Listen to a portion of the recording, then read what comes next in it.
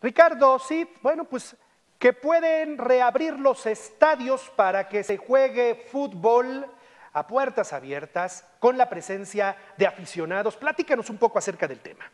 Claro que sí, Juan Carlos, muy buenos días. Pues sí, es un tema que el día de ayer a través de una carta enviada por el presidente de la Liga MX a los clubes, a los 18 clubes de nuestra liga, para analizar la situación de aceptar a los aficionados a los estadios. En ella dice que ya habló con la Secretaría de Salud y llegaron a un acuerdo en que los equipos deben dialogar con los gobiernos estatales y municipales para iniciar con la apertura de los estadios. Los equipos tienen hasta el próximo 8 de octubre para presentar los acuerdos al presidente de la liga y en su caso iniciar con la apertura de los estadios. Dentro de los protocolos que contempla el presidente de la liga se encuentran abrir hasta con el 50% del aforo. Aquí quiero hacer una pausa. 50% del aforo de los estadios. Entendámoslo esto. Muchos equipos ni siquiera el 50% llegan. O sea, la verdad, las cosas. Muchos hasta en redes sociales en son de broma decían que el 50%, pero del total promedio del aforo que va de los equipos, lo digo con respeto aquí, ni el 30% del Cuauhtémoc se llena. Y la gente preguntaba, entonces, de ese 30% que va, va a la mitad del, va únicamente el 50, claro que es una broma eso, pero bueno, se levanta la suspicacia. Por ejemplo, otro más claro, en el Estadio Azteca podrían entrar hasta 45 mil personas a los estadios, lo cual también lo dudo, porque ni América ni Cruz Azul ya levantan tampoco esas aficiones. Se calcula que se ha permitido el acceso a los estadios hasta dentro de 15 días por ejemplo, en este caso del Estadio Azteca, cuando el América reciba a los rojinegros del Atlas. El protocolo incluye, no niños, todo el tiempo portar el cubrebocas, los boletos serán vendidos únicamente por internet y no se pondrán a vender más de cuatro boletos por familia. Bueno, eso también lo quiero ver. Revise, sí, porque eh, yo no creo esas situaciones.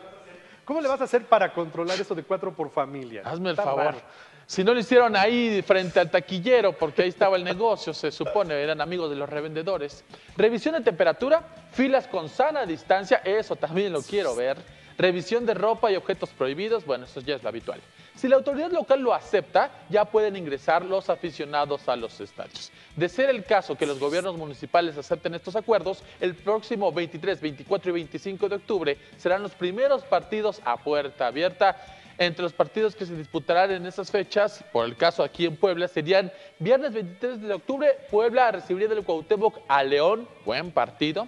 El sábado 24 de octubre el América se enfrentaría contra el Atlas y el domingo 25 de octubre el partido más atractivo de esa fecha, el Cruz Azul contra Chivas, citando algunos ejemplos de acuerdo a las fechas ya estipuladas. Son ideas, sueños, buenas intenciones, Juan Carlos, amigos que nos ven, pero la verdad dudo mucho por ejemplo, aquí en Puebla, caso concreto, que eso se lleve a cabo. Sí, no. Es decir, finalmente algo que está ocurriendo es que, como tú no nos decías, finalmente los gobernadores de los estados o presidentes municipales son los que tendrán la última palabra en este asunto. Y Puebla sigue manteniendo una política de mucho control para evitar que se pueda llegar a disparar el contagio. Así es que, aunque existe esta autorización, aunque existe esta posibilidad, aunque para el semáforo federal estemos en color amarillo, Puebla sigue tomando medidas de semáforo anaranjado en función de contener la propagación de la enfermedad. Yo dudo que el Cuauhtémoc abra sus puertas. Así que amigos aficionados al Puebla, a, pesar de estas medidas y más de uno ya se ilusionó, creo que nos vamos por lo menos hasta el próximo torneo en estas situaciones de la apertura de los estadios, por lo menos aquí en el Estadio Cuauhtémoc. Lo veo de la misma manera. Gracias, Richard.